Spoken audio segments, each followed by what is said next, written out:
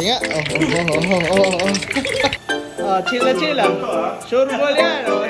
Sure, sure, ball din ba to? Of course, of course. Sure ball. Abit away. Yan. Abit away. Yan. Abit away. Oh, tay, sabi mo abit away. Abit away. Hey, yan, okay. Tara na at maglasunan, baby.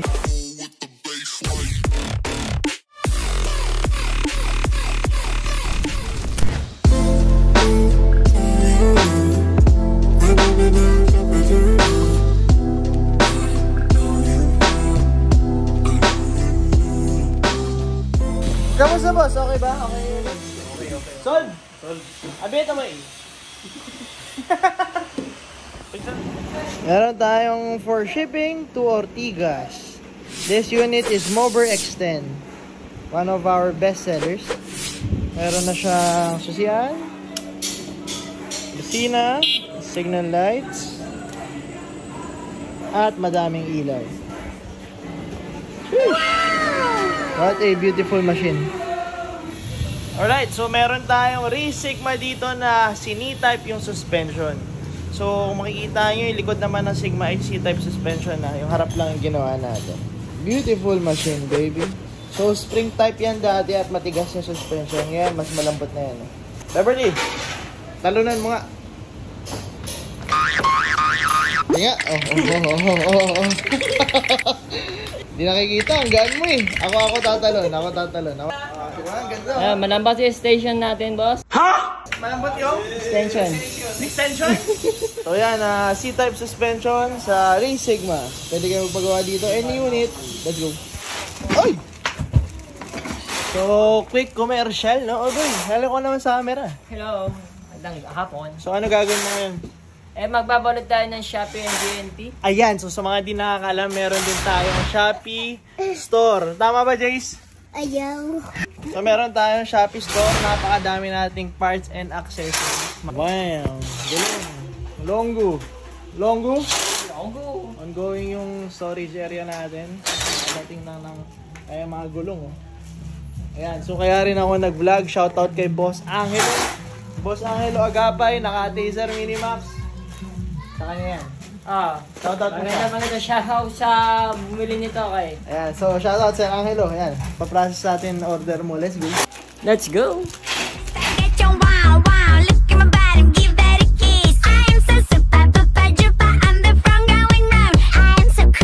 Meron tayong delivery ng... Porter B2. So ito ang unit. So ito ay base model 15AH para mas malayo mararating. 15AH, no? 35 kilometers kaya biyahe. oh, sige, kaya yan. Oh, sige, kaya yan. Oh, oh, oh, sige. So ito yung pinakamurang dual motor electric scooter in the Philippines. Beautiful machine. Nagpa-tubeless na rin siya, no? So yan, Race Walter version 2 yung model name nun. 26,000 lang yung base model, dual motor na. So ito ay papuntang BGC. Shoutout sa buyer natin, Aviate away sa'yo. So meron tayong client dito kumuha ng Taser Minimax. Uh, chill na chill ah. ball to, ah. Sure ball yan. Oh. Sige, Sure, sige. sure, sure ball din ba to? Of course, of course. Sure ball. Of course, of course. Ayan. Beautiful machine. Ayan, beautiful machine. Yes, anak ko to. Inaayos Ayan, ko. shoutout sa anak ni Bossing. Ano Yes. pangalan ni anak? Paulo. Boss Paolo, shoutout sa'yo, no? Napakaganda ng unit URCC, nila. ano yun? Naglumalaman sa URCC. Lumalaban, ako. So meron tayong delivery ngayon, kahit maulan, ng Raze Arcane papuntang Paranaque. So this unit is 60 volts, 19 EH, and 3,200 watts. 70 kph max speed and 60 kilometers yung range. Naka C-type na rin suspension nito. So ito yung Arcane. Bam! Beautiful machine, baby. So, naka 11 inches stars yan. Nagpa-upgrade siya. Nagpalagay din siya ng macho stand, acrylic deck, Ironman na Ironman, black, gre- ah, black red, Wildman, 3 liters, phone holder. Boom! Underglow, side glow. Boom! Ironman team, electric scooter, Race Arcane, let's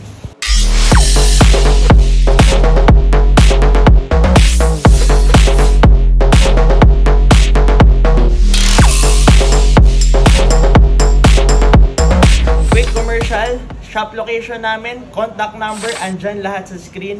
Pati yung price list as of today, yung date to day, andyan din sa screen. I-post nyo na lang kung gusto nyo.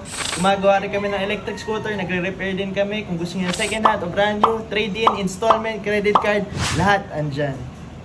So, for some reason, tayo ulit nang nag-deliver dito sa may Tandang Sora ng Mover X10, no? So, it's been a long, long time since I ever been uh, delivering some scooters again. So, hello everybody and good evening.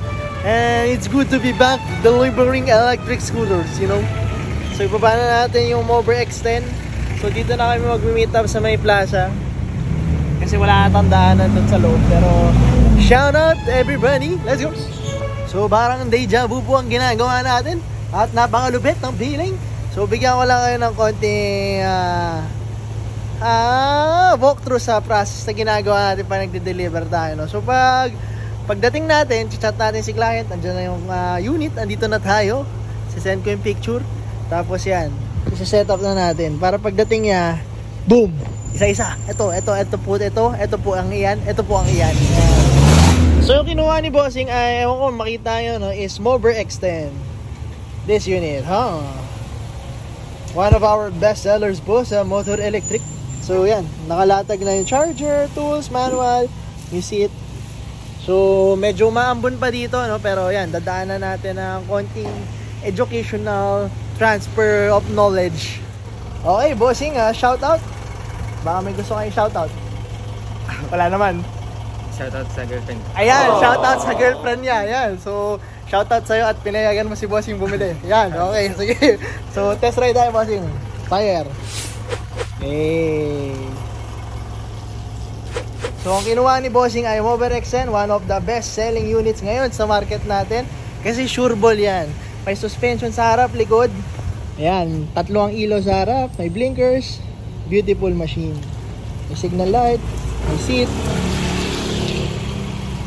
Gagamitin nga raw pang araw-araw. O bossing, ah, kamusta? Okay ba? Ayos. Ayos. Sabihin mo, a bit away. Dito eh. Yang. Shout out, boss Sherwin. Hello. So, pang ilang unit mo na to, sir? Uh, second unit. Second unit, ayan. So, from isang unit ka? DDDI Ayan. So, sa DD, mag-upgrade na, sir, sa Raise Taser Minimax, 100 km, 60 kph. So, ba't ito napili mo, sir? Kailangan ng pangakyatan sa Bayani Road eh. Ayan, so pangahunan, tested ang 52 volts units natin. A bit away, sir. Dito eh. Ah. So yan pala, nagpalagay siya ng kapote para pag umambon or basa kalsada, safe pa din. Meron tayong 3 liters wide man bag. Throttle cover, nagpalagay siya. May tire sealant na rin yan yung mga gulong para iwas flat pag nabutasan. Hydraulic brakes na to, tubeless na yung tires. 52 volts, 20, 80, 100 km, 60 kph.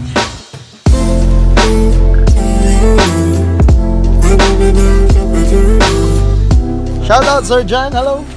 Say hi to the vlog. Are you ready to do some test ride? Yes. Yes, let's go. Okay. Woo! Ayan, so shoutout kay Bossing. Galing pa pala siyang Canada, no? So yung unit niya dun daw is Dualtron. So ngayon umuwi siya sa Pinas. Siyempre, mahal naman yung electric vehicles. Yan, looking good. Taurus Mini, baby. Boss John, uh, how was it? How was it? Yeah, very good. Very good. Okay. Very strong. Very strong. Alright, say a bit away. A bit away. Yan.